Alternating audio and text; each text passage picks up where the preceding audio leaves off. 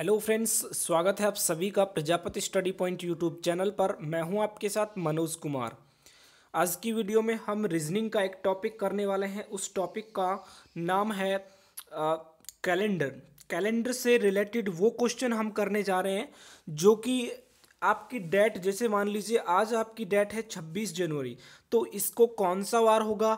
तो ये सभी आज के वीडियो में हम डिस्कस करेंगे। यदि आप इस वीडियो को पूरा देखते हैं और इस वीडियो के बाद आप कुछ क्वेश्चन खुद से करते हैं तो मैं गारंटी लेता हूँ, आप within thirty second thirty second के अंदर आप इजीली किसी भी तारीख का वार इजीली निकाल सकते हैं।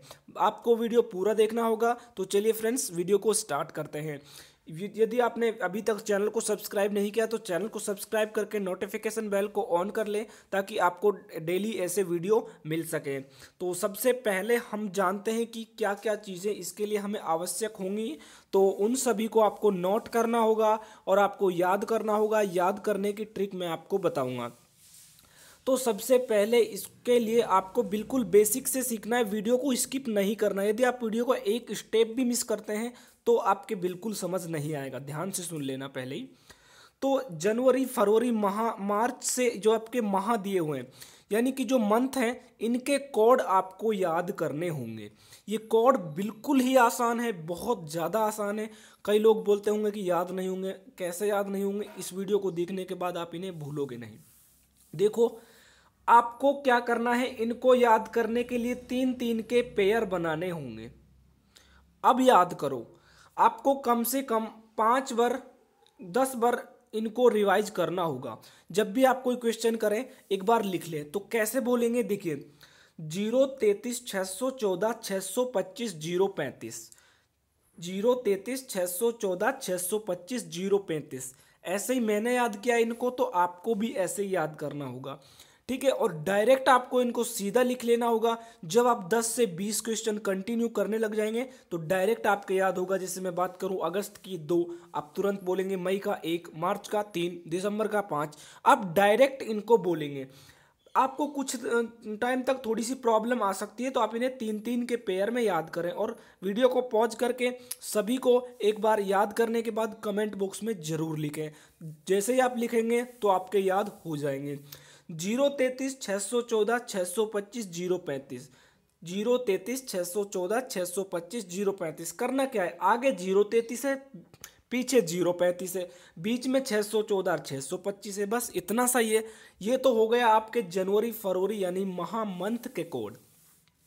अब मैं बात कर लेता हूँ आपकी शताब्दी, यानी सेंचुरी के कोड। ये भी आपके लिए याद करना बेहद आसान है।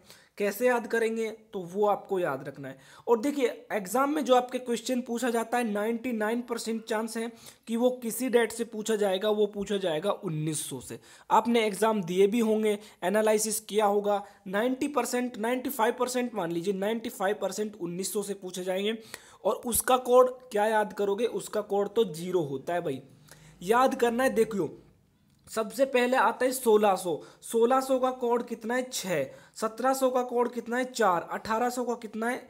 दो। उन्नीस सौ का कितना है? ज़ीरो। अभी आप इन्हें याद कैसे करोगे करोगे? तो देखिए, उन्नीस सौ का याद रखो बस। उन्नीस सौ भाई काम आता है, उन्नीस सौ का ज़ीरो है। उन्नीस सौ से सन को कम करते जाएँ और नंबर को बढ़ाते जाएँ।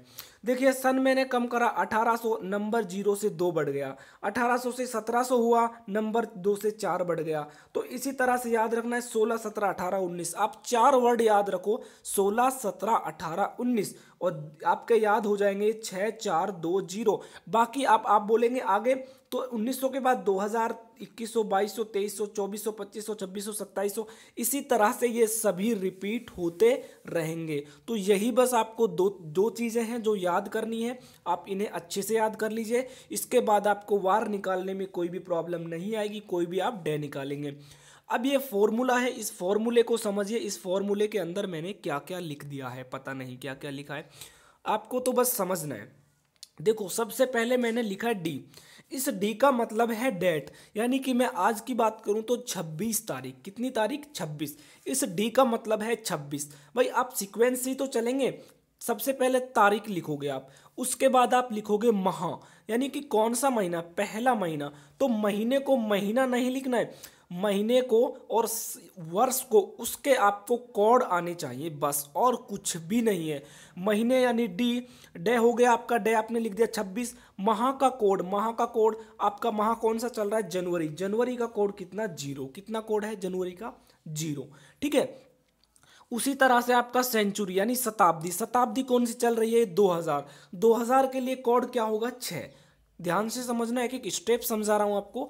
और वाई उसके बाद वाई यानी कि वर्ष आ जाती है। कौन सी वर्ष है? तो वर्ष है 2019 तो अब 2019 नहीं, आप लिखेंगे ओनली 19 कितना लिखेंगे? 19 19 राइट उसके बाद लिखेंगे आप लीप ईयर्स यानी कि 2000 से और 19 के बीच में अब तक कितनी लीप ईयर्स आई? तो टोटल लीप ईयर्स आई चार। कौन कौन सी? 2004 उसके बाद आठ, उसके बाद बारह, उसके बाद सोलह। और तो कोई नहीं आई ना। तो चार, आप याद कैसे करें निकालेंगे कैसे? उन्नीस में चार का भाग दीजिए। जब तक पूरा पूरा जाता है तो आप लीप वर्ष निकाल सकते हैं।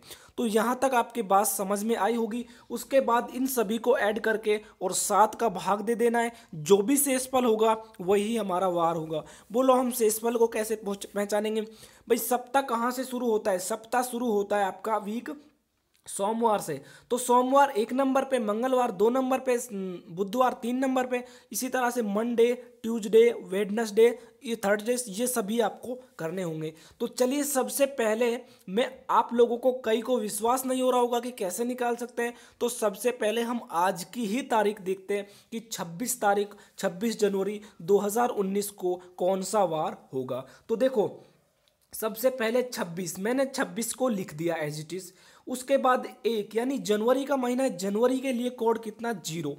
उसके बाद मेरा आता है 2000 यानी वर्ष। 2000 के लिए कोड कितना है? 2000 के लिए कोड है छः यहाँ पर लिखा हुआ है साफ़ साफ़ उसके बाद वर्ष कौन सा है? 19 यानी 2000 को नहीं लिखूँगा, पीछे के ओनली दो डिजिट आपको लेने होंगे। पीछे के ओनली दो डिजिट लेने होंगे, ध्यान रखना, पीछे के दो डिजिट लेने। 19 लिख लिया 19 तक कितने लीप वर्ष आई चार। इन सभी को ऐड कर दिया तो अब कोई कई स्टूडेंट्स कहेंगे ऐड करने में गलती हो गई तो यहाँ पर ध्यान देना। सात या इक्कीस, यानी कितने बार गया भाग? तीन बार। तो शेषफल कितना बचा है? हमें लेना है शेषफल। तो यहाँ से 26 को काट कर आप पाँच लिख सकते हैं इसे। उसी तरह से सात दूनी चौदह चौदह के बाद कितना बचता है? पाँच। कितना बचता है? पाँच। पाँच को लिख दीजिए। अब आप उन्नीस को भूल जाए। अब आप इनको ऐड कर सकते हैं पाँच और पाँच दस, छः और चार दस। दस और दस कितना होता है? बीस। बीस में सात से डिवाइड करो। सात दूनी चौदह, कितना से इस फल बचता है? छः। छः क्या हो जाएगा हमारा? छः के लिए हो जाएगा शनिवार। कितना हो जाएगा छः के लिए? शनिवार। तो आई होप ये क्वेश्चन समझ में आया होगा। नेक्स्ट क्वेश्चन की ओर हम आगे बढ़ते हैं। अभी तक आपने वीडियो को लाइक नहीं किया तो यार वीडियो को लाइक करें। बहुत वर्क से मैंने आपके लिए क्वेश्चन बनाए हैं। तो वीडियो को पूरा ज़रूर देखें। 9 मई 1988 का वार हम निकालने वाले हैं। ठीक है, आपके विश्वास नहीं है तो आप अपना मोबाइल खोलें और वहाँ से आप इंटरनेट से चेक कर सकते हैं। कोड आपको याद करने होंगे, दो तीन बार आप रिवाइज करेंगे, कोड याद हो जाएँगे। देखो, नौ, सबसे पहले नौ, तारीख को लिखा मई। मई का कोड कितना? एक। यानी कि कैसे याद किया आपने? ज़ीरो, तैतीस छः सौ चौदह। चार था जो चार, वो जून को दर्शा रहा है तो एक किसको दर्शाएगा? मई को दर्शाएगा। एक लिख लिया 1900 का कोड कितना? ज़ीरो। उसके बाद वर्ष लिखनी है, वर्ष कितनी है? अट्ठासी अट्ठासी को एज इट इज़ लिखा अट्ठासी में कितनी लीप वर्ष आई होंगी? अट्ठासी में लीप वर्ष आई होंगी, बाईस। कितनी वर्ष लीप वर्ष आई होंगी अट्ठासी में? बाईस लीप वर्ष आई होंगी। डिवाइडेड कर दिया मैंने सात से, अब मैं काटना शुरू करता हूँ। तो देखिए अट्ठासी सत्तर से ऊपर कोई भी संख्या हो तो सत्तर को तो एक बार निकाल ही दीजिए, क्योंकि सत्तर में हम देंगे तो शेषफल ज़ीरो बचेगा, इससे बढ़िया है, उसको एक बार निकाल ही दें बचता कितना है मेरा अट्ठारह सात दूनी चौदह मैंने यहाँ से चार लिया। कितना लिया मैंने यहाँ से? चार लिया। और चार के बाद देखिए बाईस। बाईस से कितना मिला मुझे? एक मिला। चार और एक कितना हो गया? पाँच। पाँच और एक यहाँ से मिला। छः। छः और उसके बाद मेरा कितना बच जाता है? आ, उसके बाद नौ और छः कितना बच जाता है? पंद्रह। पंद्रह में सात से डिवाइड करूँगा चौदह बार जाए चौदह में जाएगा और एक से सवाल बच जाएगा उसका मतलब है सोमवार यानी कि मंडे। एक का मतलब क्या है? मंडे। तो यहाँ तक आपको समझ में आया। चलिए नेक्स्ट क्वेश्चन देखते हैं। नेक्स्ट क्वेश्चन क्या होगा? इक्कीस अप्रैल पंद्रह पानीपत का प्रथम युद्ध बाबर और इब्राहिम लोदी के मध्य, जिसमें इब्राहिम लोदी की हार हुई थी। तो यहाँ से आपको जीके का क्वेश्चन भी मैंने आपको याद करा दिया। 21 अप्रैल 21 का आपको 21 लिखना है। अप्रैल को आपको कोड लिखना है 614 क्या लिखा था हमने? ज़ीरो तैतीस छः सौ चौदह। तैतीस तैतीस तो मार्च को दर्शा रहा है, तीन तीन। उसके बाद छः किसको दर्शाएगा? अप्रैल को। और उसके बाद ज़ीरो उन्नीस सौ का कोड सॉरी पंद्रह सौ। पंद्रह सौ का कोड आपको देखना होगा। कितना है पंद्रह सौ का कोड? पंद्रह सौ देखो, अब आप कैसे निकालेंगे? उन्नीस सौ तेईस सौ। तो यहाँ मैं आगे जाऊँगा, सत्ताईस सौ का कोड ज़ीरो होगा पीछे जाऊँगा तो पंद्रह सौ का कोड ज़ीरो होगा। तो यहाँ से आप इजीली निकाल सकते हैं। छब्बीस का मैंने छब्बीस लिख दिया। छब्बीस में कितनी लीप वर्ष आई होंगी? छब्बीस में लीप वर्ष आई होंगी कितनी? छब्बीस में छः लीप वर्ष आई होंगी, यानी छः चौके चौबीस। चौबीस में पूरा भाग जाता है। तो कितनी लीप वर्ष आई होंगी? छः अब आप इन्हें ऐड करेंगे। यहाँ से पूरा कट जाता है और यहाँ से छः और छः बारह बजता है और बारह, और यहाँ से कितना बजता है? सात या इक्कीस और पाँच, छब्बीस। यानी पाँच बजता है, बारह और पाँच, सत्रह। सत्रह में डिवाइड करेंगे तो कितना बचेगा? तीन। यानी कि बुधवार आपका राइट आंसर आ जाएगा।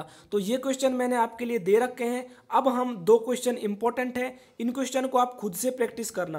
भाई देखिए क्वेश्चन नंबर आपके लिए है मेरा क्वेश्चन नंबर चार। चार नंबर क्वेश्चन को आप खुद से ट्राई करना, पाँच नंबर क्वेश्चन मैं करा रहा हूँ, ठीक है? पाँच के अंदर पंद्रह अगस्त उन्नीस सौ सैंतालीस, उसके बाद छः क्वेश्चन आपको खुद से ट्राई करना होगा। खुद से जो था, आप ट्राई नहीं करेंगे तो कुछ समझ में नहीं आएगा। पंद्रह अगस्त, पंद्रह का मैंने पंद्रह लिख लिया, अगस्त का दो। देखिए, मैंने कैसे याद करवाया था? ज़ीरो तैतीस छः सौ चौदह छः सौ पच्चीस, ज़ीरो पैंतीस, ठीक है? एक, दो, तीन, चार, पाँच छः सात, आठ। यानी अगस्त का कितना हुआ? कोड नंबर दो। उन्नीस का कोड ज़ीरो। सैंतालीस को एज इट इज़ सैंतालीस में कितने लीप वर्ष आते हैं? ग्यारह। ग्यारह चौका चौवालीस तक भाग जाता है। तो पंद्रह में से कितना सात से डिवाइड करूँगा? शेषफल एक बचेगा। सैंतालीस में से सैंतालीस को करूँगा तो सात चिंग बयालीस पाँच बचेगा। पाँच और दो सात कैंसिल ग्यारह और एक कितना हो जाएगा? बारह। बारह बटे सात यानी कि पाँच बच जाता है। पाँच को क्या होगा? शुक्रवार। तो क्वेश्चन नंबर चार और छः खुद से ट्राई करना। कोई भी क्वेश्चन डाउट आपके मन में हो तो आप हमें कमेंट बॉक्स में कमेंट कर सकते हैं। यदि ये वीडियो आपको पसंद आया है तो इसे लाइक करें और अपने फ्रेंड्स के साथ शेयर करें। मिलता हूँ आपको नेक्स्ट वीडियो में। तब तक के लिए सभी को जय हिंद। जय भारत।